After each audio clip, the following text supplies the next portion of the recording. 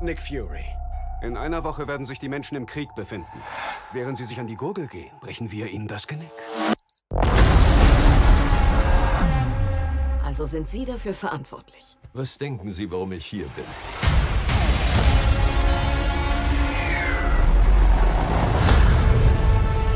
Er hat Sie gelehrt, dass Sie kämpfen können. Es wird immer jemanden geben, der an Ihrem Stuhl sägt. Die einzige Superkraft, die ich habe, wurde mir von meiner Mutter zwischen die Ohren gepflanzt. Wenn das nicht reicht, weiß ich nicht, ob wir eine Chance haben. Du wirst zum meistgehassten Mann auf dem Planeten. Das ist ein kleiner Vorgeschmack, Nick. Bald bekommst du von mir das volle Programm. Fury, du bist schwach. Sie sind nicht in der Verfassung für den Kampf. Lass den Angriff ab und rette dein Volk!